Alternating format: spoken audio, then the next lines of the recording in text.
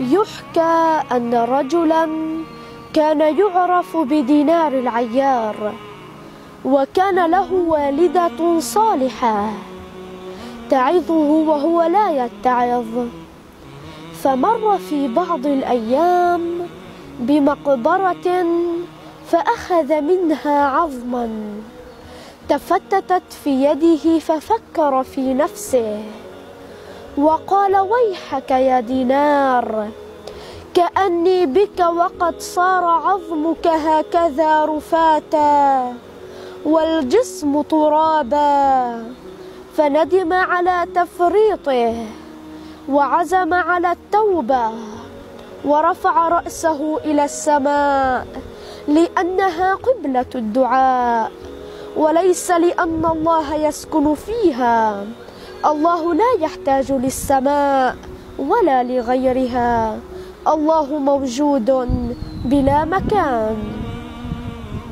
رفع رأسه وقال إلهي وسيدي ألقيت إليك مقاليد أمري فاقبلني وارحمني ثم أقبل نحو أمه متغير اللون.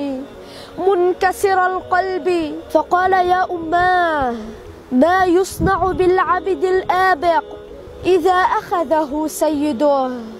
قالت يخشن ملبسه ومطعمه ويغل يديه وقدميه. فقال أريد جبة من صوف وافعلي بي كما يفعل بالعبد الآبق. ففعلت به ما أراد. فكان إذا جن عليه الليل أخذ في البكاء الشديد ويقول لنفسه ويحك يا دينار ألك قوة على النار؟ كيف تعرضت لغضب الجبار؟ ولا يزال كذلك إلى الصباح. فقالت أمه يا بني أرفق بنفسك. قال دعيني أتعب قليلا. لعلي أستريح طويلا يا أماه إن لي غدا موقفا طويلا بين يدي رب جليل. ولا أدري أيؤمر بي إلى ظل ظليل أو إلى شر مقيل. قالت يا بني خذ لنفسك راحة. قال لست للراحة أطلب. كأنك يا أماه غدا بالخلائق يساقون إلى الجنة وأنا أساق إلى النار مع أهلها. فتركته وما هو عليه.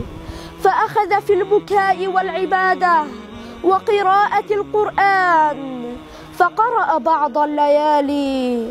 فوربك لنسألنهم أجمعين عما كانوا يعملون. ففكر في هذه الآية العظيمة وجعل يبكي حتى غشي عليه. فجاءت أمه إليه فنادته فلم يجبها. فقالت يا حبيبي وقرة عيني أين الملتقى؟ فقال بصوت ضعيف يا أماه إن لم تجديني في مواقف فاسألي مالكا خازن النار عني. ثم شهق شهقة فمات رحمه الله تعالى. فغسلته أمه وجهزته. وخرجت تنادي أيها الناس هلموا إلى الصلاة على قتيل النار. فجاء الناس من كل جانب. فلم يرى يوم أكثر جمعا ولا أغزر دمعا من ذلك اليوم.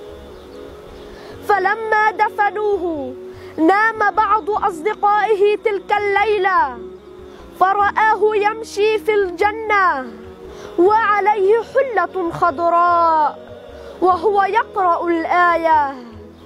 فوربك لنسألنهم أجمعين.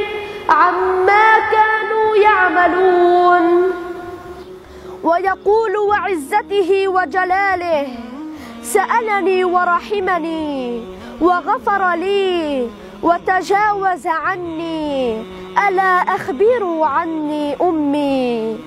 اللهم اغفر لنا وسامحنا واعف عنا واجعل القرآن ربيع قلوبنا ونورا لأبصارنا وجوارحنا يا رب العالمين.